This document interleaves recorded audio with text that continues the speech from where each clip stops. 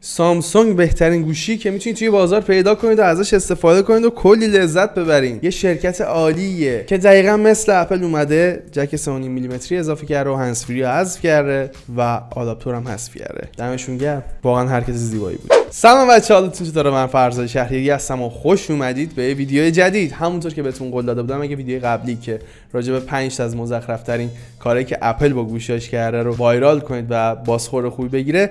ویدیوی سامسونگش هم می‌سازم. حالا سراغ شیائومی و هواوی هم میریم البته. امروز هم با شما هستم تا 5 تا از مزخرف ترین کارهایی که سامسونگ با گوشیاش کرده رو به شما بگم. اما قبل از هر چیزی یه لایک خوشگل برام بذار توی کامنت قلب بذار و بهم بگو که به نظر شما مزخرف ترین کار شرکت سامسونگ چی بوده. توی کامنت حتما بهم بگو. شماره یک حذف آداپتور. همونطور که می‌دونید اپل اومد آداپتور رو حذف کرد. بعد سامسونگ یه توییت گذاشت که ما هنوز آداپتور داریم. و خیلی زیبا و خیلی جالب بود.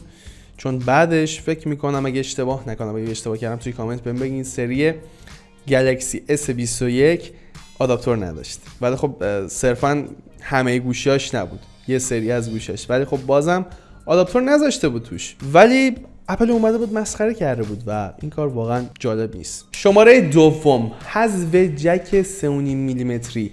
آقا اپل اومد این کارو کرد. ایرپاداش رو آورد رو بورس بعد ایرپاداش رو فروخت. ولی سامسونگ هم اومد اپل رو مسخره کرد. حتی براش یه ویدیو هم ساخته. با اون ویدیو خیلی viral شد. بعد خودش اومد چیکار کرد؟ خودش هم اومد جک 3.5 میلیمتری رو حذف کرد و به بهونه اینکه گوشی باید حفراش کمتر باشه و ضد آب باشه و سود بیشتری هم بهمون بده. فوق است این موضوع. و دقیقا بعد از این کارا گلکسی بادزا اومدن روی کار که دقیقا نیاز ما رو تامین کنن که ما از هنسفری استفاده نکنیم. ولی خب کیفیتش اندازه ایرپادا نیست. منظورم ایرپادای اپله. شماره 3 ویروس گرفتن.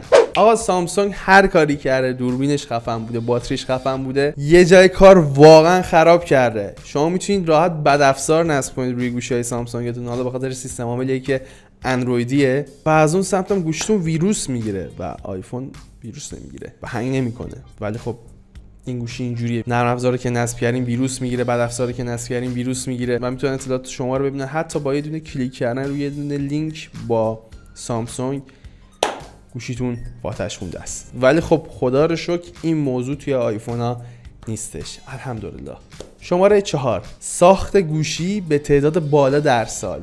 شما فرض کنید سری نوت داریم سری S داریم سری فوت داریم سری M داریم سری A داریم. اگه جز این پنج چیز دیگه هم هست بهم بگیم من الان حضور ذهن ندارم. ولی در سال دارن اینا رو می‌زنن هم پرچمدار هم میان رده. ولی خب چرا؟ باید تمرکزشون رو بذارن روی چند تا مدل مختلف. چرا نمیاد در حد دو تا سه تا گوشی در سال بدن. چرا اینقدر زیاد؟ اوکی میان رده رو می‌زنیم پرچمدار هم می‌زنیم ولی چرا اینقدر تعدادش بالاست؟ به نظر شما این کار سامسونگ درسته یا غلطه؟ به نظر من این باعث میشه که کیفیتشون کاهش پیدا کنه. نظر شما چیه؟ توی کامنت حتما بهم بگین. شماره 5 بعد از یه مدت کار کردن با گوشه سامسونگی حتی پرچمدار این گوشی ها هنگ می‌کنن.